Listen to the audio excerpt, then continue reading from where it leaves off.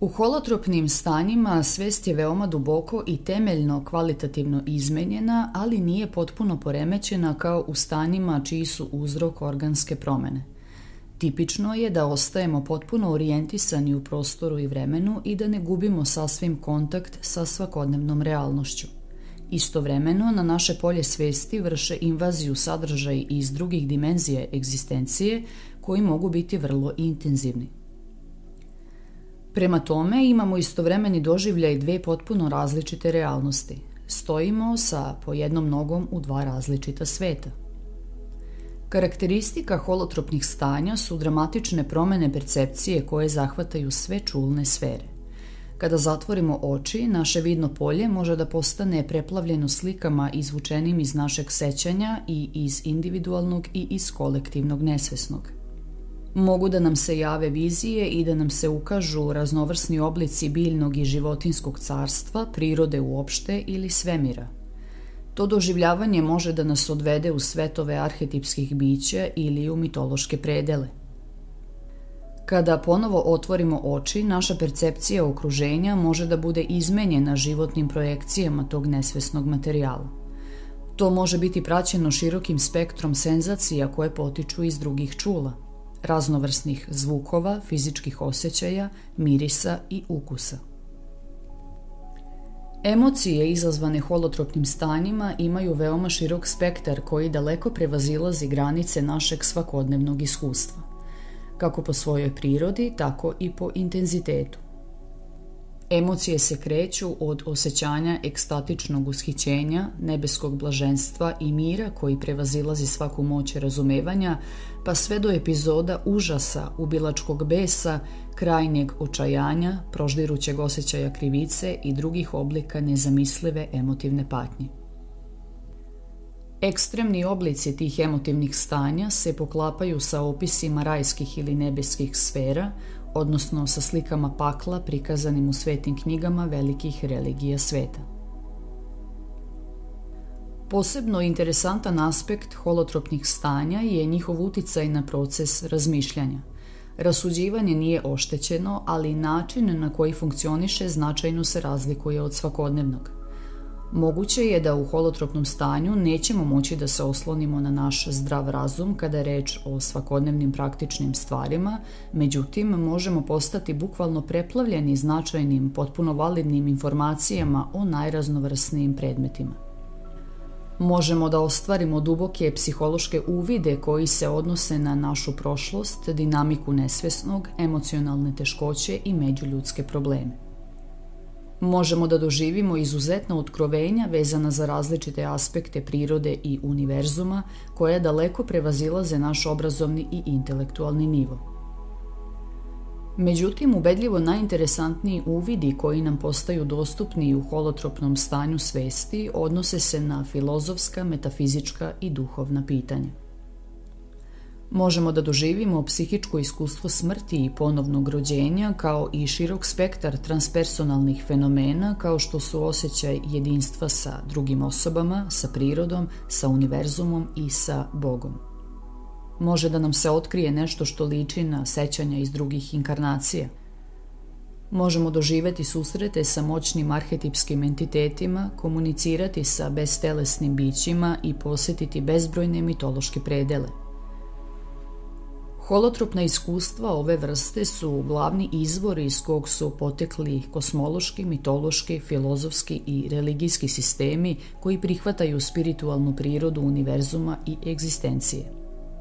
Holotropna iskustva su ključ za razumevanje rituala i duhovnog života čovečanstva od šamanizma i svetih ceremonija urođeničkih plemena pa sve do velikih svetskih religija.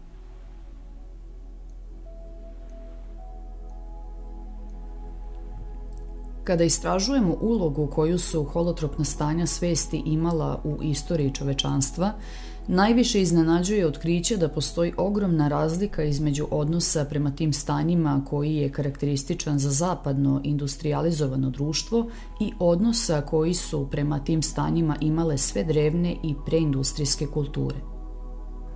U kontekstu sakralnih ceremonija, neuobičajena stanja svesti bila su sredstvo koje je domorocima omogućavalo direktan doživljaj kontakta sa arhetipskim dimenzijama stvarnosti, božanstvima, mitološkim svetovima i duhovima prirodnih sila. Druga područja u kom su ta stanja igrala ključnu ulogu bili su dijagnostika i lečenje raznih poremećaja – iako je poznavanje prirodnih lekova u autohtonim kulturama najčešće bilo impresivno, one su u prvi plan stavljale metafizičko isceljivanje. To je po pravilu uključivalo indukciju holotropnog stanja svesti bolesnika ili iscelitelja ili oba istovremeno. U velikom broju slučajeva u isceliteljski trans je zapadala veća grupa ljudi ili čak svi članovi plemena zajedno, što je i danas slučaj, na primer, kod Kung Bushmana u afričkoj pustinji Kalahari. Holotropna stanja su korišćena i za usavršavanje intuicije i ekstrasenzorne percepcije koje su imale razne praktične ciljeve kao što su pronalaženje nestalih osoba i izgubljenih stvari, dobijanje informacija o ljudima iz udaljenih predela i praćanje razvoja događaja. Osim toga, ova stanja su služila i kao izvor umetničke inspiracije, davala su ideje za rituale, slike, skulpture i pesme. Uticaj koji su iskustva stečena u holotropnim stanjima imala na kulturni život preindustrijskih zajednica i na duhovnu istoriju čovečanstva bio je ogroman. Značaj holotropnih stanja u kulturi antičkih i autohtonih društava ogleda se u količini vremena i energije koju su posvećivali razvoju sakralne tehnologije različitim postupcima promene stanja svesti korišćenim u ritualne i duhovne svrhe koji su mogli da izazovu holotropno stanje. Ovi metodi na različite načine kombinuju razne tehnike udaranja u bubnjeve, druge ritmične zvukove, muziku, pevanje, ritmični ples, promenu načina disanja i negovanje posebnih oblika svesnosti. Dugotrajna društvena i senzorna izolacija kao što je boravak u pećinama, pustinjama ili visokim planinama takođe imaju važnu ulogu u izazivanju holotropnih stanja. U tu svrhu su korišćeni i ekstremni postupci u koje spadaju gladovanje, lišavanje sna, dehidracija, masivno puštanje krvi, upotreba jakih laksativa i nanošenje snažnog bola. Naročito delotvorni postupci za izazivanje holotropnih stanja bili su rituali u kojima su korišćene psihodelične biljke i druge substance – Preparati za žvakanje ili pušenje načinjeni od raznih sojeva konoplje korišćeni su za razonudu, zadovoljstvo i za vreme religioznih ceremonija na Orijentu, u Africi i na Karibima. Ove substance su predstavljale važnu svetu tajnu za potpuno različite društvene grupe kao što su bramani, neki redovi sufista, antički skiti i rastafarijanci sa Jamajke. Ceremonijalno korišćenje različitih psihodeličnih substanci ima veoma dugu istoriju i u Centralnoj Americi. Nekoliko prehispanskih indijanskih kultura, naročito majanska, astečka i toltečka, dobro je poznavalo biljke koje veoma snažno menjaju stanje svesti. Praksa izazivanja holotropnih stanja može se pratiti unazad sve do samih početaka istorije čovečanstva. Ona je najvažnija karakteristika šamanizma, najstarijeg poznatog spiritualnog sistema i veštine lečenja. Karijera većine šamana započinje spontanom psihospiritualnom krizom poznatom kao šamanska bolest. To je snažno vizionarsko stanje za vreme kojeg budući šaman proživljava putovanje u podzemni svet mrtvih gde biva izložen napadima entiteta, podvrgnut raznim iskušenjima, ubijen i raščerečen – Tome sledi doživljaj ponovnog rođenja i uspona u nebeske sfere. Šamanizam je povezan sa holotropnim stanjima na još jedan način. Sposobni i iskusni šamani mogu da uđu u stanje transa svojom voljom i da imaju kontrolu nad njim. Tu sposobnost koriste za diagnostiku i lečenje bolesti, ekstrasenzornu percepciju, istraživanje alternativnih dimenzija stvarnosti i u druge svrhe.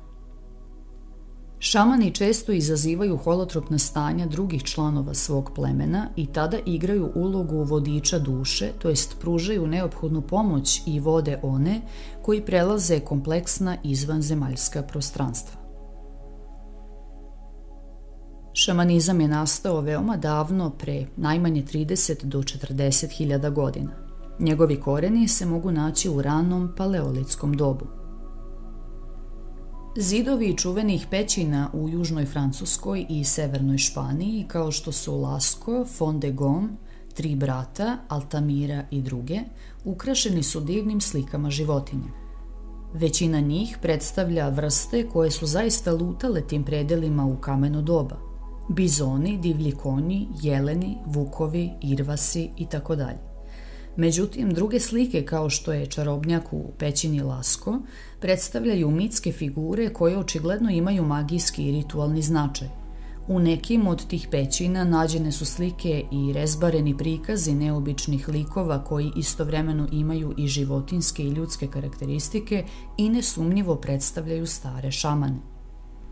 Najpoznatija od ovih slika je čarobnjak iz pećine Tri brata, misteriozna figura koja kombinuje različite simbole muškosti. Ima jelenske rogove, oči sove, rep divljeg konja ili vuka, ljudsku bradu i lavlje šape. Druga slavna slika šamana u istom pećinskom kompleksu je gospodar životinja, vladalac večnih lovišta po kojima vrve predivne životinje. U pećini poznatoj kao Lagabilu postoji figura šamana zaustavljenog u pokretu, koju su arheolozi nazvali plesač. Počeci šamanizma mogu da se prate još i dalje sve do neandertalskog kulta pećinskog medveda, što pokazuju oltari u obliku životinja, a nađeni su u pećinama na jugu Nemačke i u Švajcarskoj. Činjenica da je kroz ljudsku istoriju tako veliki broj različitih kultura smatrao da su šamanističke tehnike relevantne i korisne, ukazuju na to da holotropna stanja angažuju ono što antropolozi nazivaju primitivni um, osnovni i primordijalni aspekt ljudske psihe koji se nalazi izvan rase, pola, kulture i istorijskog vremena. U kulturama koje su izbegle razorni uticaj zapadne industrijske civilizacije, šamanističke tehnike i postupci su preživeli sve do današnjih dana. Drugi primer kulturalno određene psihospiritualne transformacije koji uključuje holotropna stanja predstavljaju rituali koje antropolozi nazivaju obredi prelaska – Taj termin je prvi upotrebio holandski antropolog Arnold van Genep, autor prve naučne rasprave o ovom predmetu. Ceremonije ovog tipa su postojale u svim poznatim domorodačkim kulturama i još uvek se izvode u mnogim preindustrijskim društvima. Njihova glavna svrha je da redefinišu, transformišu i osveštaju pojedince, grupe, pa čak i celokupne kulture – Obredi prelaska se odigravaju u vreme kritičnih promena u životu osobe ili plemena. Njihovo vreme se često poklapa sa značajnim fiziološkim ili društvenim tranzicijama. Slični rituali povezani su sa inicijacijom u status ratnika, prijemom u tajna društva, proslavama kalendarskih perioda, isceljujućim ceremonijama i geografskim pokretima mnogih naroda. Obredi prelaska uključuju snažne procedure koje menjaju stanje svesti i izazivaju dezorganizujuće psihičke doživljaje, ali kao posledicu donose viši nivo integracije. Ova epizoda psihospiritualne smrti i ponovnog rođenja interpretira se u smislu da osoba umire u jednoj ulozi i ponovo se rađa u drugoj novoj ulozi. U svim tim situacijama osoba ili društvena grupa ostavlja iza sebe jedan oblik života i prelazi u potpuno nove životne okolnosti. Osoba koja je prošla kroz inicijaciju nije više ona ista osoba koja je ušla u taj proces. Pošto je iskusila duboko psihičku i duhovnu transformaciju, ona postaje lično povezana sa uzvišenim dimenzijama egzistencije i ima nov, mnogo širi pogled na svet, bolju i jasniju sliku o sebi i nov, drugačiji sistem vrednosti. Sve to je rezultat namerno indukovane krize koja ponekad može da bude zastrašujuća, haotična i dezorganizujuća i zahvata samu suštinu postojanja inicijanta. Obredi prelaska zato predstavljaju još jedan primer situacije u kojoj period privremene dezintegracije i haosa vodi u bolje zdravlje i bolji život. Šamanistička kriza i iskustva obreda prelaska, dva primera pozitivne dezintegracije, imaju mnogo zajedničkih karakteristika, ali se i razlikuju u nekim veoma značajnim crtama. Šamanistička kriza zahvata psihu budućeg šamana neočekivano i bez ikakvih upozoravajućih znakova. U poređenju sa njom, obredi prelaska su proizvod kulture i prate predvidiv vremenski raspored – Iskustva osoba koje prolaze kroz inicijaciju su rezultat specifične sakralne tehnologije koju su razvijale i usavršavale ranije generacije. U kulturama u kojima se poštuje šamanizam, a takođe se vrše i obredi prelaska, šamanistička kriza se smatra oblikom inicijacije koji je na mnogo višem nivou od obreda prelaska – Ona se shvata kao intervencija više sile i percipira se kao indikacija božanskog izbora i posebnog poziva. Osim toga, obredi prelaska predstavljaju korak dalje u kulturalnom poštovanju pozitivnih vrednosti holotropnih stanja. Šamanističke kulture prihvataju i jednako poštuju i holotropna stanja koje nastaju spontano za vreme inicijacionih kriza i isceliteljskog transa koje priznati šaman doživljava ili izaziva kod drugih. Obredi prelaska uvode holotropna stanja u širi kulturni kontekst, institucionalizuju ih i čine ih nerazdvojnim delom ritualnog i spiritualnog života.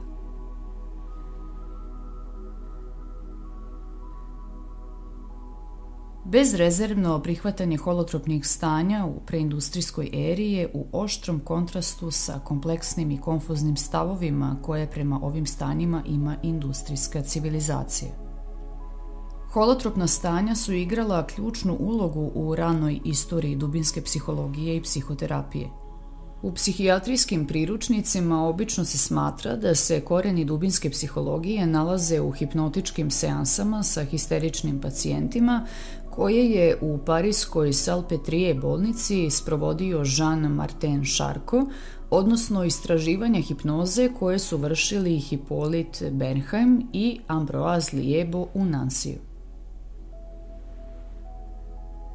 Sigmund Freud je za vreme svog studijskog putovanja po Francuskoj boravio na oba ova mesta i naučio je tehniku indukovanja hipnoze. Koristio ju je u svojim ranim istraživanjima da bi pristupio podsvesti svojih pacijenata. Kasnije je radikalno promenio strategiju i zamenio ovaj pristup metodom slobodnih asocijacija. Na Freudove rane ideje dodatno je uticao i njegov rad sa pacijentkinjom koju je lečio zajedno sa svojim prijateljem Josefom Broerom. Ova mlada žena, koju je Freud u svojim spisima nazvao gospođica Ana O, patila je od teških histeričnih simptoma.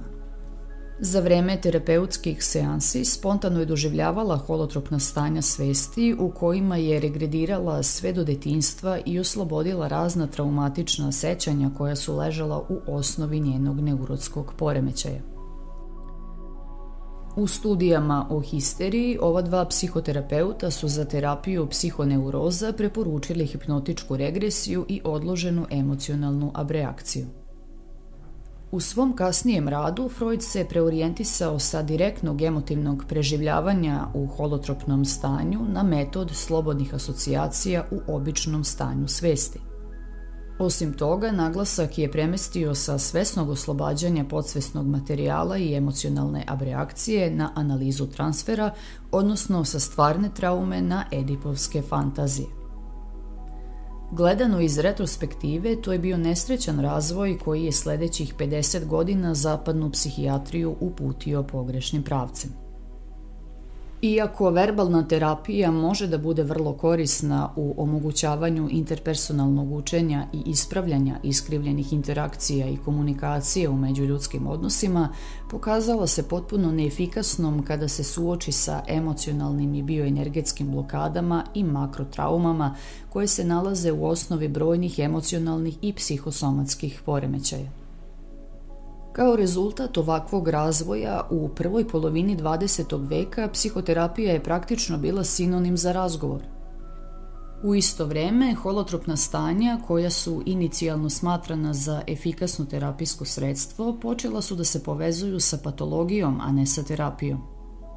Ova situacija je počela da se menja 50. godina prošlog veka sa dolaskom psihodelične terapije i radikalnim inovacijama u psihologiji. Grupa američkih psihologa, na čijem je čelu bio Abraham Maslov, nije bila zadovoljna behaviorizmom i freudovskom psihoanalizom, pa su lansirali nov revolucionarni pokret humanističku psihologiju. Za vrlo kratko vreme ovaj pokret je postao veoma popularan i stvorio je osnovu za širok spektar terapije zasnovane na potpuno novim načelima. Dok je tradicionalna psihijatrija koristila prvenstveno verbalna sredstva i intelektualnu analizu, ove nove takozvane iskustvene terapije stavljale su akcenat na direktno preživljavanje i izražavanje emocija. Uprkos tome što naglašavaju značaj doživljavanja emocija, većina ovih terapija se i dalje u velikom stepenu oslanja na verbalnu komunikaciju i zahteva da pacijent ostane u običnom stanju svesti. Najradikalnije inovacije na polju terapije pokazale su škole psihoterapije čiji su pristupi bili toliko snažni da su korenito menjali stanje svesti pacijenta. Tu spadaju psihodelična terapija, različiti neorajhovski pristupi, primalna terapija, preporađanje i još neki. Stanislav Grof i njegova supruga Kristina razradili su metod holotropnog disanja koji može da olakša pristup dubokim holotropnim stanjima veoma jednostavnim sredstvima. Kombinacijom svesnog disanja, evokativne muzike i fokusiranih telesnih radnji. Moderna farmakološka istraživanja su obogatila riznicu metoda za indukciju holotropnih stanja svesti pronalaskom psihodeličnih substanci u čistom hemijskom obliku, bilo da su izolovane iz biljaka ili sintetisane u laboratoriji. Tu spadaju THC, aktivne substance iz hašiša i marihuane, meskalin iz pejotla, psilocibin i psilocin iz meksičke svete gljive i različiti derivati triptamina iz psihodeličnih mešavina za ušprkavanje koji se koriste na području Kariba i u Južnoj Americi. Takođe tu je i LSD. Postoje i vrlo efikasne laboratorijske tehnike za izmenu stanja svesti. Jedna od njih je senzorna deprivacija koja predstavlja značajnu redukciju smislenih senzornih stimulusa. U njenom ekstremnom obliku osoba se lišava senzornih stimulusa uranjanjem u mračan, zvučno izolovan bazen ispunjen vodom koja ima temperaturu tela. Drugi i dobro poznat laboratorijski metod izazivanja promene stanja svesti jeste biofeedback, postupak kojim se osoba signalima elektronske povratne sprege navodi u holotropsko stanje svesti, čija je karakteristika preovladavanje nekih specifičnih frekvencija moždanih talasa. Treba pomenuti i tehnike deprivacije spavanja i sanjanja i lucidno sanjanje. Važno je naglasiti da se epizode holotropnih stanja različitih trajanja mogu javiti i spontano bez ikakvog specifičnog uzroka koji se može identifikovati, a često i protiv volje osobe kojoj se to dešava. Pošto moderna psihijatrija ne pravi razliku između mističnih ili spiritualnih stanja i mentalnih bolesti, ljudi koji doživljavaju ova stanja često se označavaju kao psihotični i rutinski im se daje supresivna psihofarmakološka terapija. Stanislav Grof ova stanja naziva psihospiritualne krize ili urgentna duhovna stanja. On veruje da pravilnom podrškom i lečenjem ova stanja mogu da rezultiraju emocionalnim i psihosomatskim izlečenjem, pozitivnom transformacijom ličnosti i razvojem svesti. Najveći deo njegovog rada vezan je za oblasti psihodelične terapije, holotropnog disanja i urgentnih spiritualnih stanja.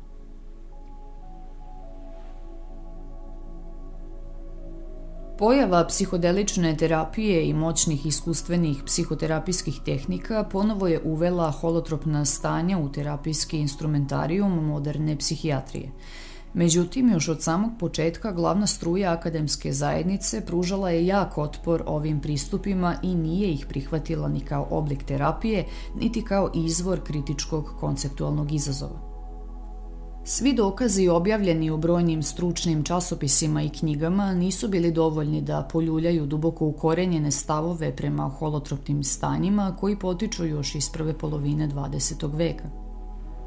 Uprkos nadmoćnim dokazima o suprotnom, psihijatri koji pripadaju glavnoj struji nastavili su da sva holotropna stanja svesti posmatraju kao patološka stanja i da ignorišu informacije koje su dobijene njihovim istraživanjem, tako da ne prave razliku između mističnih stanja i psihoza. Oni i dalje koriste različite psihofarmakološke substance da bi bez razlike potisnuli sva neuobičajena stanja svesti koja se spontano javljaju.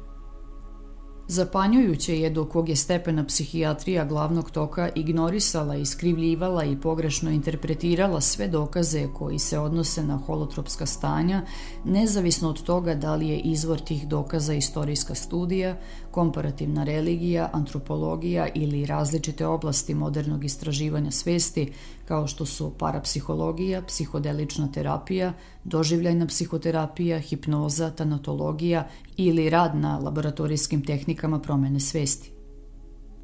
Rigidnost kojom su pristalice glavne naučne struje pristupale ovim informacijama koje su ove naučne discipline sakupile, mogla bi pre da se očekuje od religioznog fundamentalizma – Veoma iznenađuje činjenica da se takvi postupci dešavaju u svetu nauke, pošto je to suprotno samom duhu naučnog istraživanja. Više od četiri decenije koje je Stanislav Grof proveo u istraživačkom radu uverile su ga da bi ozbiljno ispitivanje podataka dobijenih proučavanjem holotropnih stanja moglo da ima dalekosežne posledice ne samo na teoriju i praksu psihijatrije, već i na način na koji zapadna nauka posmatra svet. Jedini put kojim moderna nauka može da očuva svoju materialističku, monističku filozofiju jeste cenzura i sistematsko odbacivanje svih podataka koji se odnose na holotropna stanja svesti. Paradoksalno, posmatrano iz šireg istorijskog konteksta, to je istovremeno i najstariji oblik lečenja koji se može pratiti unazad sve do početka čovečanstva. Prema tome, terapija koja koristi holotropna stanja predstavlja ponovno otkrivanje i modernu interpretaciju elemenata i načela koje su otkrili antropolozi proučavanjem antičkih i autohtonih oblika spiritualnog lečenja, a naročito različitih šamanističkih postupaka.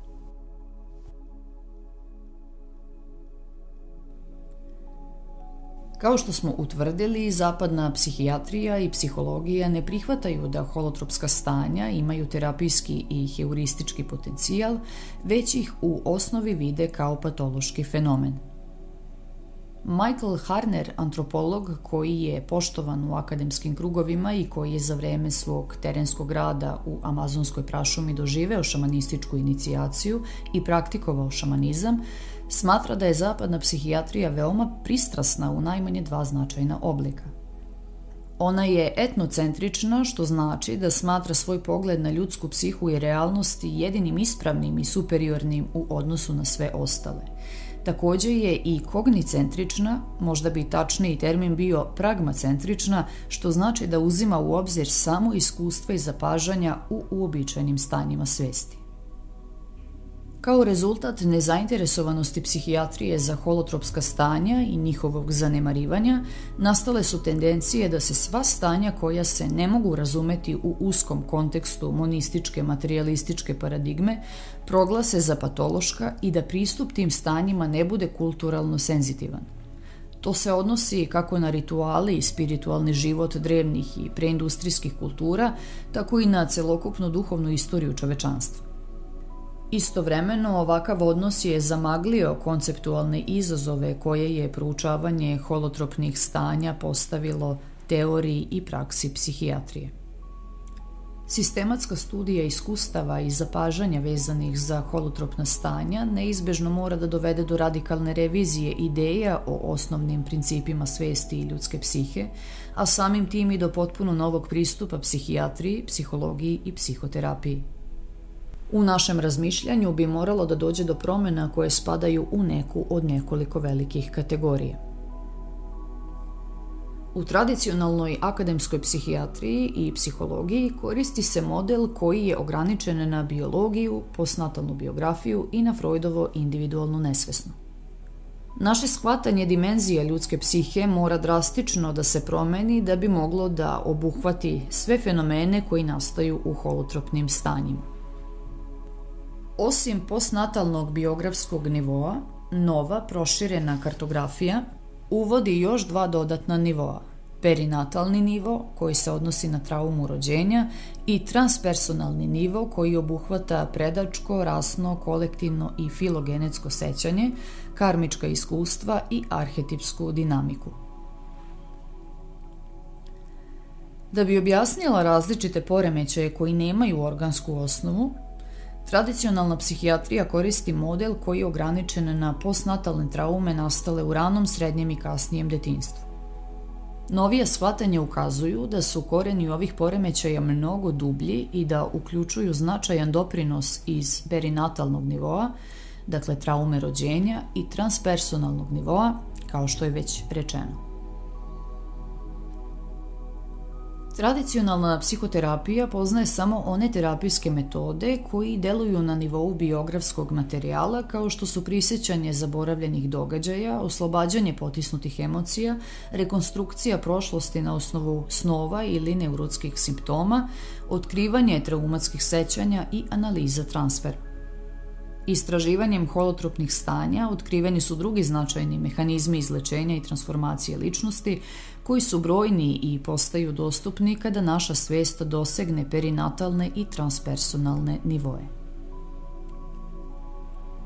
Tradicionalni oblici psihoterapije imaju za cilj postizanje intelektualne predstave o tome kako psiha funkcioniše, zašto se razvijaju simptomi i šta oni znače. Posle toga ta predstava postaje osnova za razvoj tehnika koje koriste psihoterapeuti da bi lečili svoje pacijente. Ozbiljan problem vezan za ovakvu strategiju predstavlja upadljivo neslaganje među psiholozima i psihijatrima baš u pogledu najfundamentalnijih teorijskih pitanja, što je rezultovalo neverovatno velikim brojem međusobno suprotstavljenih škola psihoterapije. Rad sa holotropnim stanjima nam je pokazao neočekivanu radikalnu mogućnost, mobilizaciju duboke unutrašnje inteligencije pacijenta koja vodi proces izlečenja i transformacije. U zapadnoj materialističkoj nauci nema mesta ni za jedan oblik duhovnosti, šta više smatra se da je duhovnost inkompatibilna sa naučnim pogledom na svest. Savremena istraživanja svesti pokazuju da je duhovnost prirodna i legitimna dimenzija ljudske psihe i univerzuma. U svakom slučaju, u ovom kontekstu važno je naglasiti da se ovaj stav odnosi samo na autentičnu duhovnost, a ne na ideologije organizovanih religije. Do sada smo razmatrali neophodne promene koje se odnose na teoriju i praksu psihijatrije, psihologije i psihoterapije. Međutim, rad sa holotropnim stanjima donosi izazove koji su mnogo fundamentalnije prirode. Veliki broj iskustava i zapažanja koja su nastala tokom ovog rada su tako neobična da nije moguće razumeti ih u kontekstu monističkog materialističkog pristupa stvarnosti. Njihov konceptualni uticaj je toliko daleko sežan da potkopava najelementarnije metafizičke aksiome zapadne nauke, naročito one koji se odnose na prirodu svesti i njen odnos sa materijom.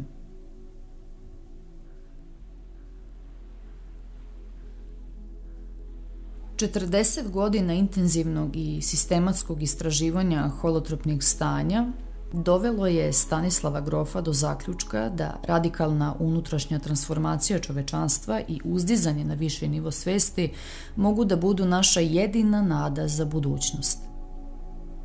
On se nada i veruje da će onima koji se spremaju da krenu na unutrašnje putovanje ili su već putovali tim putem njegove knjige i informacije biti koristan saputnik u toj izazovnoj avanturi.